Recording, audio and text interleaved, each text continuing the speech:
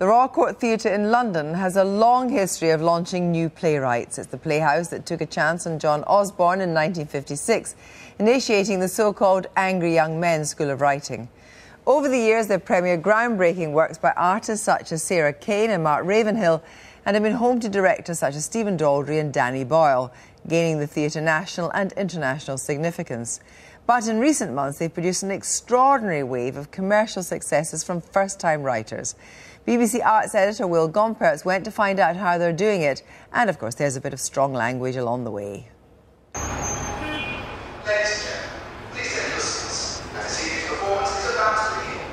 From time to time, there's a moment in the arts that changes the status quo.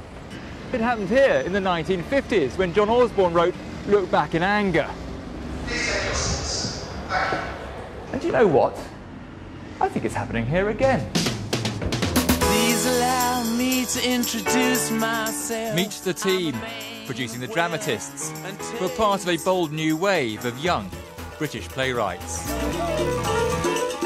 A college dropout turned overnight sensation, a housing officer who won an Olivier Award, a non theatre goer who's now a prize winning playwright, and a schoolgirl whose first play opens at the Royal Court this month. There's a torrent of textual talent flowing from the Royal Court's 12 week long indoctrination come masterclass called the Young Writers Programme. So, how does it work? You pitch up terrified on day one, or certainly I did. Um, and it's a, a 90 minute session in the evening with a tutor who is a working playwright and you start off learning about all different aspects of playwriting from creating characters to structuring a play. And by the end of the course you're sort of homing in on an idea that you have that you want to write. Bloke shouts out you got any change mate? And i said i'm really sorry i've only got notes. They less taught you so much as showed you you know? We, we read a lot of plays together and we talk about them. They gave you kind of exercises to do write little sketches. And I think that was the thing that was so helpful. Because when you first write dialogue, it's really weird. You go on. It just feels really fake. You're like, this is odd doing this. But after doing a few of those sketches, you get over the initial weirdness. Should top herself or get better? Let me guess what you'd prefer. You made your choice to stay, Henry, and I made mine to leave. Polly Stenham joined the Young Writers Programme as a teenager and wrote a play called That Face. The Royal Court liked it a lot. So onto their stage it went and ended up transferring to the West End and then being produced worldwide. Not to use a phrase like she starts it. Now they're backing 18 year old Anya Reiss and her first play, Spur of the Moment. She divides her time between attending rehearsals and studying for her A levels. Simple, yeah. Do you feel like a schoolgirl or a playwright? Uh, I feel like neither, actually. I feel like at school, everything seems a little bit less significant because I've got a play on, so I'm a playwright. But then I think that I shouldn't be worrying about the play because I've got much more important things to think about because I'm actually a schoolgirl, you know. And so I think it makes you not really worry about anything, which is probably a very bad state when I then fail all my A levels. a notable trait of the Royal Court's approach is their relentless pursuit of new talent. If you're a good catch, they tend not to let go. I walked in thinking I'm never going to have an idea again. It's pointless me being here. Why did you think that at that time? Why were you? Why did you feel? Because I thought I was. I'm good at writing dialogue, but I've got no stories ever. Okay. So I'm useless. and and they asked me to go on it, and I sent an email saying you don't want me. You've got you've got this all wrong. Um, and then she said, no, come along, just give it a go a few times. Maybe you'll think of something.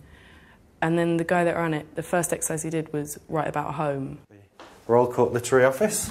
That guy was the playwright Leo Butler, another graduate of the Young Writers Programme. So this is where it all happens, is it, Leo? This is the. He now runs the course.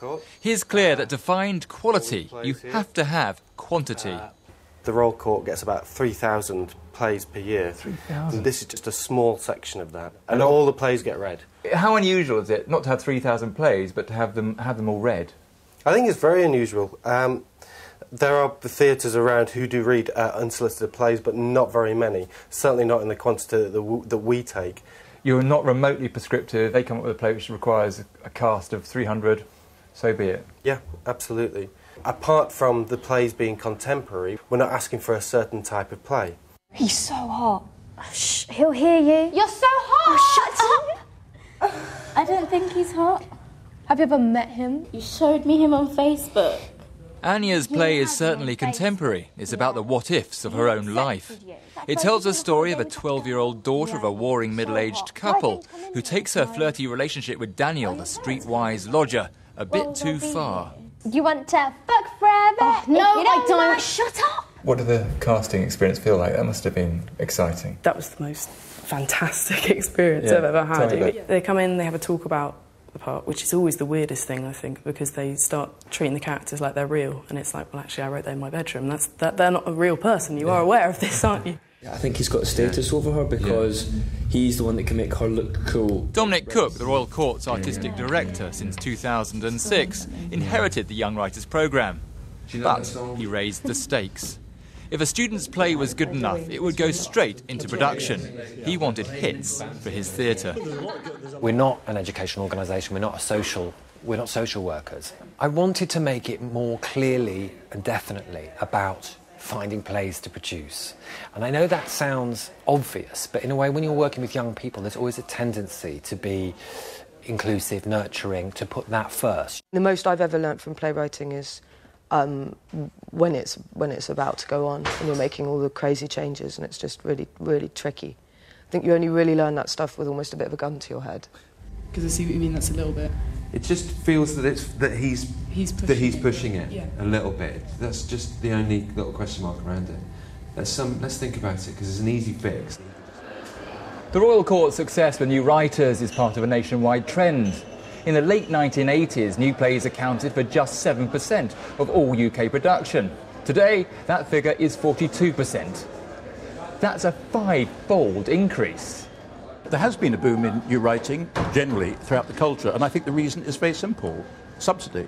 There has been more money pumped into the arts generally and theatre specifically over the last 12 years. The Royal Court has used some of that additional funding to actively seek out ethnic voices. I'm glad the Royal Court found me because they pretty much have said, you know, write where you want to write, you're a writer. I think maybe with certain other institutions, they do think, oh, wow, female, Asian, Muslim, this is brilliant, tick, tick, tick, tick, tick. And um, they would like me to write Asian stories. I do think in some ways the court sets the agenda and people follow. Oh, no. What? Over there. Seriously checking you out? Yoda. Producing plays from the Young Writers Programme loses money. As for the playwrights, well, most of them have other jobs. And if the expected government cuts come this autumn, it's these productions that will be most vulnerable. But there's another threat artistic focus. What's vital, I think, is they go on and write the third, fourth, fifth, sixth, seventh play rather than get sidetracked into uh, film or television. And the court has to say, come on, come on, come on. They've got to nag them for the next play. The young playwrights I spoke to all wanted to try their hand at either a movie, a book, or a TV drama. But if there's one thing that will keep them within theatre, it's a sense of community here. Once you're in the Royal Court, you're in the Royal Court. It's not, I, I mean, it's not a course where that's it, you've done 12 weeks now, go away. You can come here anytime and you could speak to anybody in, in the different departments and, and they can help you develop your idea or read through a play and give you feedback on a play. It, you, it's, it's home. For me, it's home. Most of the young writers I spoke to said they felt like frauds, that they weren't proper playwrights. But maybe that's the secret behind this theatre's success. The power of this new generation lies not just in its breadth of voices, but also in the freedom they've been given to write what they want, how they want.